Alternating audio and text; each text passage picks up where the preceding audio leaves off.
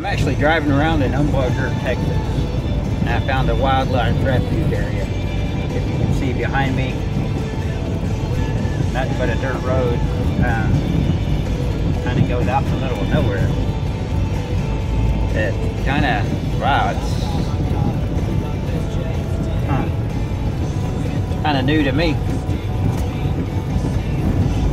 Panhandle of Texas, you get nothing but grassland. Prairies, grasslands. Every once in a while you have plateaus or canyons or um, whatever. There's supposed to be deer and bison and everything out here in this area. And antelope and whatever. I have yet to see a single one. And they say there's snake road tortoises and I have yet to see those too. So Kind of out exploring. There is a hog flying over. I did see that. Um, but uh, yeah, I just kind of decided to get out of the house for a while and go explore around. Um, yeah, there ain't much of anything in here. Kind of interesting though, seeing all this whatever, that they've set aside for people to come drive through, I guess. I'm looking for the road that goes back that way. What's going on in San Bernardino? It's currently 4:32, and don't forget to be listening for Mike Evans Hollywood Report, brought to you by Buffalo Thunder Resort Wow. and Casino with Jason Kennedy. I didn't realize it went this far back in. Show. Mike has the latest entertainment news headlines on Kinda interesting. weekdays from Hollywood at 7:20. But- I'm Mark coming your way from Broward. Yeah, it goes way back in there.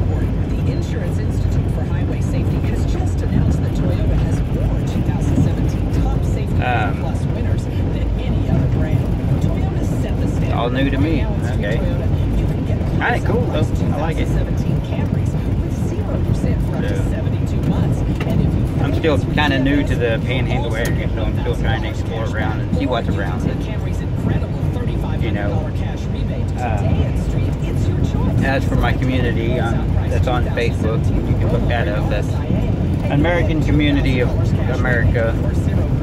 3%. This is one thing I've always dreamed of is starting a community out here that they little prairie town community, whatever, where everybody comes in and they help each other out. Kind of my little dream I've always had, you know, where everybody works together, gardens together, raises cows together, raises whatever animals we decide to put on the property. Um, it went kind of dark there for a second. But out here in the middle of nowhere, um, that's kind of what I kind of wanted with a self-sufficient community out in the middle of nowhere that we could uh, work together and make something really cool. Have a place to train, you know, with guns and whatever, or even stockpile supplies if we need it. Not that we're some occult freak doomsday freak show. I don't want no freak shows coming in and trying to be like uh, uh, David Koresh or Waco or whatever. No, like that. We're just a group that just wants to build something really cool. So, but like I said, I was just out driving around and exploring and checking things out. Kind of ran across this, and I let me drive in here and look. It has automatic gates, so, but it doesn't close until 8:30 or 8 o'clock tonight. So, I think I got plenty of time to kind of explore around.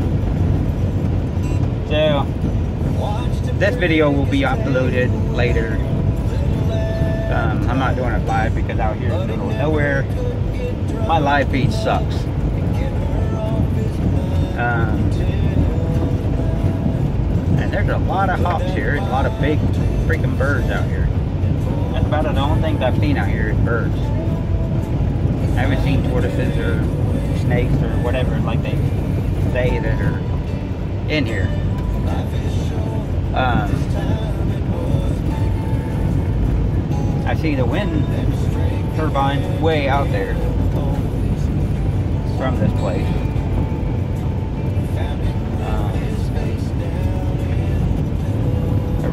I said, I don't do much out here. I'm hoping this road turns around here in a minute. Wow. Um, it goes way back in here. Good thing I got an old car that can handle it.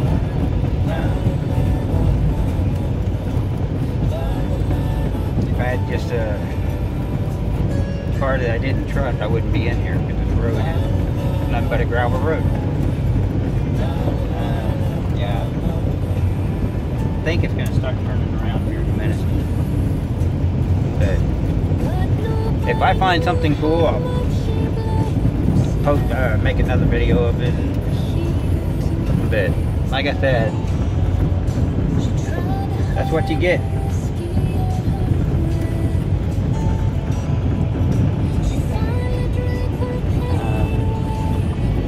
This wildlife refuge, that's what it is.